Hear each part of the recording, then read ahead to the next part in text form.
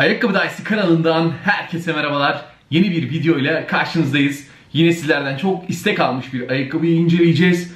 O ayakkabı da James Harden'a ait bütçeli model olan Harden Step Back. Hemen şöyle yanımda göreceksiniz. Bir tanesini alayım ve incelememize başlayalım. Hızlı temiz bir inceleme yapmak istiyorum. Böyle deyip sonra 15 dakika konuşuyorum ama uzun süredir bunu sahada denedim fakat görüntü çekemedim. O yüzden biraz geciktim. Baktım hala çekemiyorum. O yüzden incelemeyi bir an önce yapmak için bu şekilde yapıyorum. Intro çekecek zamanım ve imkanım olmadı. Bir kameraman bulamadım çünkü. Hemen ayakkabımıza geçelim. Bu sizlerden çok istek aldı gerçekten arkadaşlar. Ben hani ilk başlarda ya gerek yok falan modundaydım. Ama baktım ki gerçekten bu piyasada her yerde karşıma çıkıyor. Farklı renkleri geliyor. E sizler çok soruyorsunuz. Tercih edenleri görüyorum. Dedim artık şuna bir bütçe ayırmanın vakti geldi, zaman ayırmanın vakti geldi deyip o şekilde almıştım. Ne kadar aldım hatırlıyorsunuz? 500 liraya almıştım arkadaşlar. Outlet'ten aldım. Hani çok bir indirim olmayan zamanda aldım. O da 3-4 video önce Adidas Outlet'i gezdiğim gibi bir video yapmıştım. Girip oraya bakabilirsiniz. En son gittiğimde de bir önceki videomda da hatırlarsanız o 450'ye düşmüştü.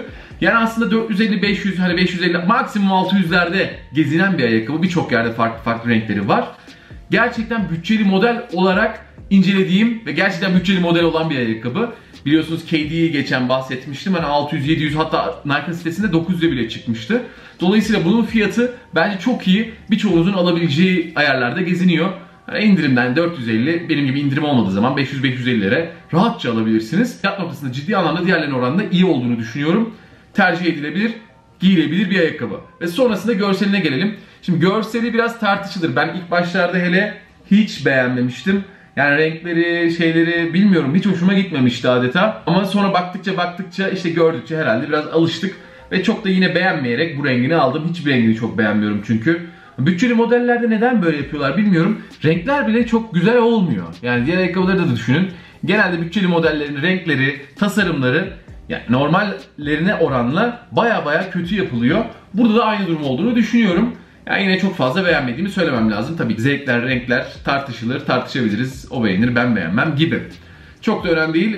Normal, ortalama bir ayakkabı. Hani gündelik hayatta bunu giyenleri görüyorum. Ben çok tercih edemeyeceğim arkadaşlar bu ayakkabıyı gündelik hayatta. Nerede nasıl tercih ederim? İnanın çok da bilmiyorum. Ee, incelemek için almış bulunduğum kıyaslama videolarında, diğer bütçeli ayakkabılarla karşılaştırma videolarında yapabilirim diye düşünüyorum. Harden Wall 4'ün bütçeli versiyonu arkadaşlar. Zaten dikkat ederseniz Harden Wall 4'e de oldukça benzeyen bir silüeti var. Harden Step Back 2 çıktı. Onu da bu arada alacağım. Harden Wall 5 çıktı. Onları da alacağım. Sadece biraz zamanla olacak şeyler. Ve hepsi gelecek arkadaşlar. Kanal devam ettiği sürece tabii ki bu ayakkabıları sürekli inceliyor ve sizlere anlatıyor oluyorum. Dedikten sonra da hemen şimdi detaylı performans incelemesine geçelim ve tabanıyla başlayalım. Arkadaşlar karşımızda en azından bu renk için sert plastik beyaz bir taban var. Diğerlerinde yine sert plastik olacak tabii ama taban renkleri değişiyor. Bu ayakkabıyı dışarıda tercih ederiz. Dış mekan ayakkabısı diye almıştım fakat üstündeki çıkıntılar bana çok yumuşak geldi. Yani iç sahalarda bile fazla oynadığınız zaman ufaktan ufaktan böyle sökülmeler meydana gelecekmiş gibi duruyor. Yani daha sert plastik beklerdim. Biraz yumuşak bir plastik olmuş. Yani biraz da derinliği çok az. Yani baktığınız zaman diğer ayakkabılara oranla, diğer şöyle dış mekan ayakkabılarına baktığınız zaman da çok kuvvetli durmuyor. Bu biraz benim için hayal kırıklığı oldu. Taban tutuşuna geldiğimiz zaman gayet iyi bir taban tutuşu var diğer birçok ayakkabı gibi. Fakat toz hızlı birikiyor. Şu an elimde tuttuğum modelde bile tozlar birikmiş durumda. Ee, ve tozlar olduğu zaman da eğer tozlu sahalarda oynuyorsanız dikkat edin bayağı kayabilirsiniz. Ellerinizde sürekli silmeniz lazım. Benim gibi temiz sahalarda oynuyorsanız da sıkıntı yapmaz. Çat çat duracaksınız. Gayet iyi bir performansı var taban noktasında. Ama dediğim gibi tozlara dikkat edin oynadığınız yeri iyi seçin. Dışarıda oynuyorsanız da yine normal bir taban tutuşu var. Ara ara zemine bağlı olarak kaydığım noktalar oldu. E, dış mekan zaten sürekli tozlu. Yani daha iyi bir performans beklerdim. Biraz hayal kırıklığına uğradım. Dış mekan ayakkabısı olacak diye baktığım için. Beklentim bu yöndeydi çünkü. Arka topukta ise değişik bir e, burada düzen karşımıza çıkıyor. Garip bir şekilde şekil verilmiş. E, genelde zaten ön taraftaki bu balık sırtı dediğimiz desen işini yapacak arkada çok bir ihtiyaç olmadığının görüşündeyim. Hemen yukarı yastıklamaya çıkalım. Bir hayal kırıklığını da burada yaşadım arkadaşlar. Bounce yastıklaması var şöyle arkasında göreceksiniz kondurulmuş. Aa dedim süper ya en azından hani bounce yastıklaması sağlamdır, güzeldir. Ama arkadaşlar bunlar yani şurası gördüğünüz yastıklama değil. Yani burası alt tabanın yukarı çıkması. Aynı şekilde önde de aynı şey var.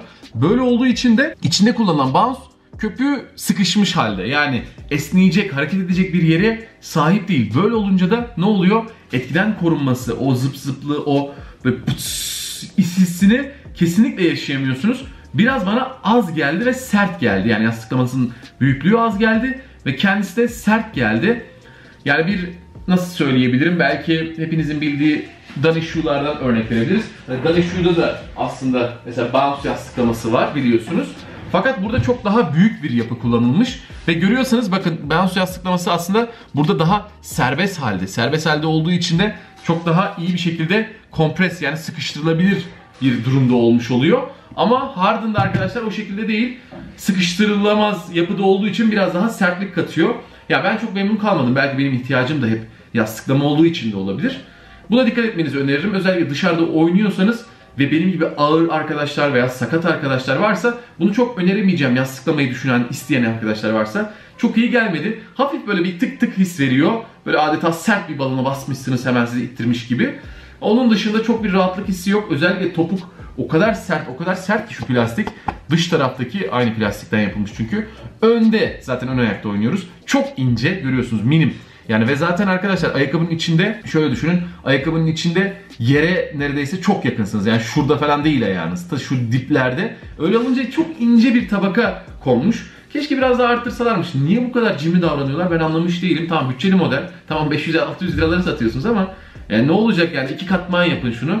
En azından biraz daha böyle tık tık hissini alalım. Yastıklama çünkü bence basketbol ayakkabılarındaki en önemli unsurlardan biri. Yani onu anlayamadım. Çok yere yakın hissettiriyor. Çok sahayla birebir hissediyorsunuz. Harden özellikle Harden Wall 4'ten sonra iyice ayakkabılarını böyle dibe doğru yanaştırmaya başladı. Daha bir guard ayakkabısı gibi istemeye başladı ayakkabılarını. E kendisi zaten guard oynuyor. Guard pozisyonuna çok yakın.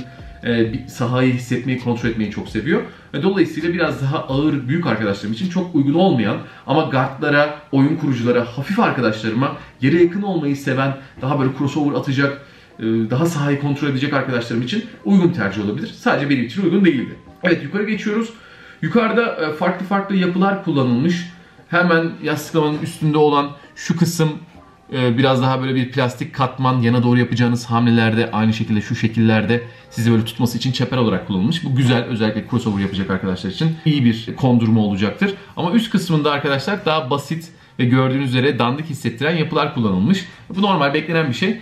Ama ben şu içerideki şu mesh yapısını beğendim. Daha kalın, daha böyle içi pamuklu ve süngerli dolu dolu hissettiren aynı zamanda şuralarda da var görüyorsunuz. Bir yapı olmuş. Üstünde sentetik yapay bir derivari yapı var. Arkaya gittiğiniz zaman arkada güzel bir topuk kabı ve sizleri iyi koruyacak bir yapı mevcut. Şu üst taraftaki dikiş olayları da çok hoşuma gitti. İç taraftan da çünkü çok burası böyle pofur pofur e, aşil tendonunuzu iyi kilitliyor. Bu yapıyla hoşuma gitti açıkçası. Ve dil yapısı da yine büyük, kalın bir dil yapısı. İç tarafta da aynı şekilde pedlendirme yapılmış. Genel manada şu şu bölge bayağı güzel ayağınızı tutacak, iyi hissettirecek. Ben sevdiğimi söylemem lazım. Tek buradaki hoşuma gitmeyen nokta şurası oldu arkadaşlar. Dışarıda kirlendiği zaman çabuk sökülebilir, ayağınıza yanlışlıkla biri bastığı zaman falan pert olacak bir yapısı var. Hemen de zaten kırışıyor. O da pek hoşuma gitmedi. Üst yapısı biraz karışık ama bütçeli ayakkabılara gidecek tatlı bir yapısı var. En azından rahat hissettiriyor. Yani böyle dediğim gibi süngerli süngerli bir yapı mevcut. Özellikle aşık tendonunuz çok iyi hissedecek. Güzel bağcıklarınızı sıktığınız zaman tamam diyeceksiniz. Ya direkt harekete hazırım. Kaç numara tercih etmelisiniz? Ben bunu 45 numara aldım. O mağaza vlogumu da izleyebilirsiniz. 44 numarayı denedim. 44 numara da çok güzel oldu ama bir dar geldi arkadaşlar. Böyle bir e, ayağım bunu aldı. Ben biraz rahat giymeyi tercih ettiğim için biliyorsunuz. E, o yüzden 45 numara aldım. Genelde Adidas'larda 44.5 alırım. Son zamanlara doğru Adidas hep 44.5'ları dar yapmaya başladı. Biraz Nike'a benziyor. Ben yine 45'e kayacağım galiba Adidas'ta da. O yüzden 45 aldım. Fakat hala bile arkadaşlar şu bölgeden ayağımı çok sıkıyor. Yani çok ilginç. Ee, özellikle giydiğiniz zaman şuralarda şuralarda böyle bir dil yapısıyla şu iç taraftaki birleşimi kısımları ayağınızda his, his yaratıyor. Benim hiç hoşuma gitmedi aynı zamanda burada da şunu hissediyorum. Herhalde dil yapısı içeride küçülüyor. Daha böyle büyük bir yapı olsa yani daha süngerli bir yapı ayağınıza şöyle tutuyor olsa Şuralardaki dikişler çünkü bakın dikkat ederseniz hani dikişler üst üste gelmiş, üst üste gelmiş. Buraları hissettiğimi düşünüyorum. Bu benim pek hoşuma gitmedi. Biraz rahatsızlık hissi verdi. Tabi zamanlama zamanla alışıyorsunuz. Ayrıca biraz daha ince çorapla giyersem de önden boşluk kaldı. Yani 45 numara aldığım için. Daha kalın çoraplarla giyince hem buradaki hissi biraz unuttum hem de burayı doldurmuş oldum. Aklınızda bulunsun. Numara noktasında benimle aynı tercihleri yapanlarınız varsa ve bana göre kendini kıyaslayanlarınız varsa ben de bu şekilde şeyler oldu. Biraz ayağı geniş olanlar için pek uygun değil arkadaşlar. Genelde Adidas hani ayakları geniş olanları, işte düz taban olanlara ve işte taraklı ayakları uygun yaparken bunu ben çok uygun bulmadım. En azından numara tercihi biraz sıkıntılı. Çünkü yukarıya doğru gittiğiniz zaman da ayakkabı uzuyor önden. Benim gibi yarım numara Adidas numaranızı büyütebilirsiniz. Sıkıntı yaşamazsınız ama normal ince ayaklı arkadaşlarım varsa direkt kendi numaranızı alabilirsiniz. Dediğim gibi guardlara, oyun kuruculara uygun bir ayakkabı. Genel manada da tatmin eden iyi bir ayakkabı olduğunu söylemem lazım. Tabii ki pozisyonunuza, isteğinize göre tercih ettiğiniz zaman. Hemen ağırlığına bakalım. Biraz ağır hissettiriyor benim elimde. Şöyle şeyimi getirmiştim. Hemen ben burada açayım şunu. 483 gram, 483 gram neredeyse yarım kilo bir ayakkabıya sahipsiniz. İkisi 1 kilo ediyor. Ben o yüzden ağır geldiğini böyle ikisini özellikle aldığım zaman bir dakika şimdi bir daha şöyle bir koyalım. 484 gram evet arkadaşlar. Biraz e, fazla. Buna dikkat etmeniz lazım. Hemen şeyi merak ediyorum. Geçen hafta incelemiştik ama tartmamıştık. Mesela hafif hissettiriyor demiştim. Bakayım bu ne kadarmış? Keyitre 5. Bunu da izlemediyseniz izleyebilirsiniz. Hemen şöyle koyuyorum. 388 gram ya. Neredeyse 100 gram fark var. Gerçekten arkadaşlar elde hissedilir farklar bunlar. KD ile oldukça farklı tipte ayakkabılar. Yine puan vermeyeceğim arkadaşlar. Yani puan vermem gerekirse hani 7'lerde medilerde kalacak bir ayakkabı ama hani fiyatını düşünürsem belki 8'e çekebilirim.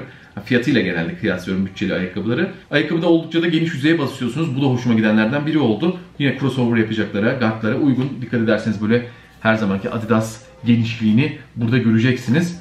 Bu da yana yapacağınız hamlelerde oldukça iyi bir denge, stabilite sağlayacak. Zaten kendinizi yere hissettiğiniz için de güveni ve sahayı kontrol etme duygusunu yaşayacaksınız. Evet bu şekildeydi. Muhtemelen her şeyinden bahsettik. İçinden dışından görüntüsünden çok fazla görüntüde bir konuşacağımız şey yoktu ama hemen onu da bahsedelim. İşte görüyorsunuz Harden logosu, bounce yazısı. Bir de şurada go with the flow mu yazıyor? Bir dakika bu tarafta da ben okuyayım. Go with your move. Ha. Hareketinle hareket et, hareketinle git gibi şöyle yazılmış hashtagli bir e, yapıda. Bayağı güzel olmuş en azından farklılık olmuş. Ben seviyorum şuralara bir şeyler kondurulmasını. Evet umarım hoşunuza gitmiştir. Umarım beğenmişsinizdir.